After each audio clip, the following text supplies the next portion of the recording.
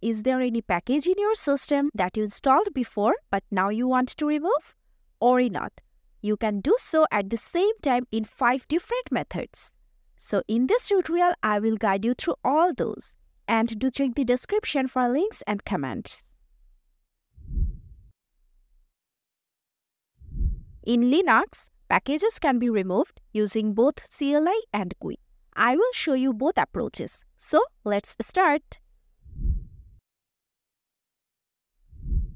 CLI or command line interface is a command line tool for Linux where you can type or execute commands directly.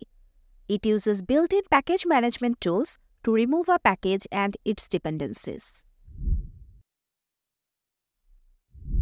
apt is a powerful package management system that simplifies software removal as well as installation by handling dependencies automatically. To remove a package with all dependencies, type sudo apt auto remove TeamViewer and hit enter. Press Y to continue with this command, apt will remove TeamViewer from the system with all unused dependencies. However, apt-get command can also do the same. All you need to do is just replace apt with apt-get and hit enter. Here you can see package TeamViewer is not installed because I have removed it already. But in this case, if TeamViewer was installed in your system, then you can use this command also to remove TeamViewer. But there is a problem. These two commands can remove the dependencies only, but keep the configuration files.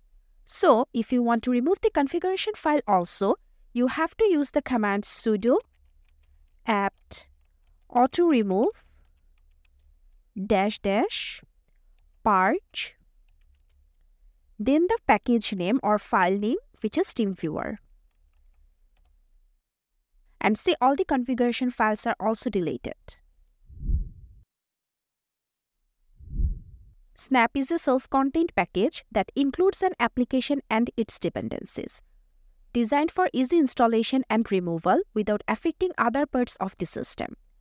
To view the list of a Snap package, run the command snap list.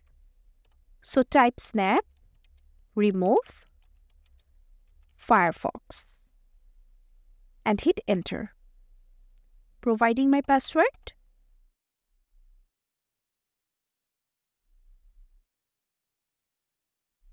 and the removal of Firefox Snap is successful.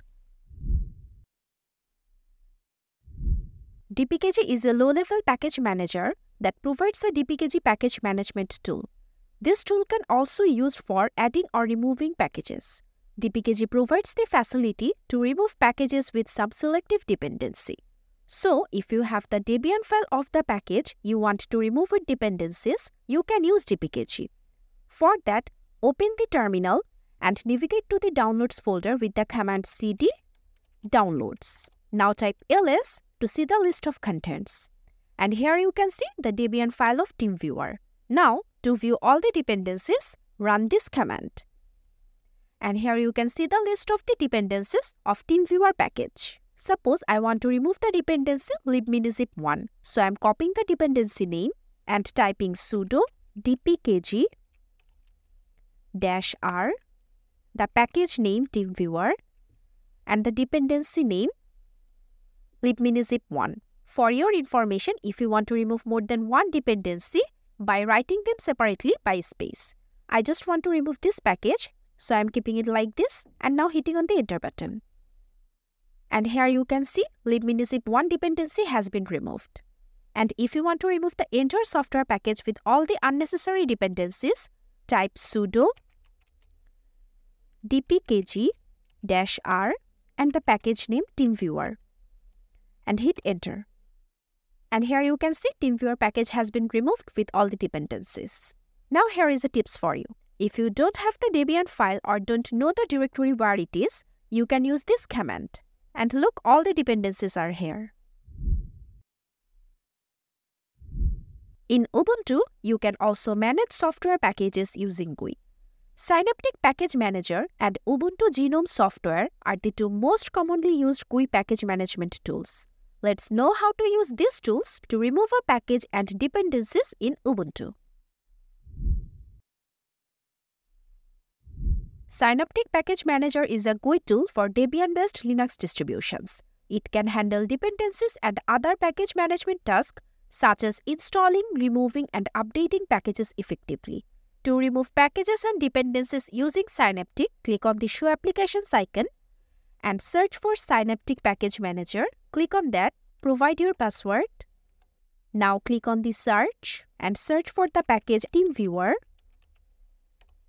Click on the package you want to remove and then select Mark for complete removal and then click on Apply. Now close. And Synaptic Package Manager has removed TeamViewer completely from the system. Ubuntu Software Center, also known as GNOME Software. It provides a graphical interface for installing and removing software on Ubuntu. When you use it to install a software package, it will typically handle the removal of any dependencies that were automatically installed alongside the package. So let's learn how to do it. But before that, you have to install the GNOME software. For that, open the terminal and enter the command sudo apt install GNOME software.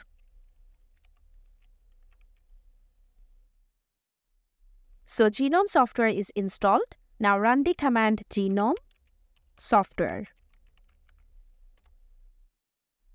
Click on installed. Now scroll down to the package you want to remove. Suppose I want to remove the Firefox. So click on uninstall.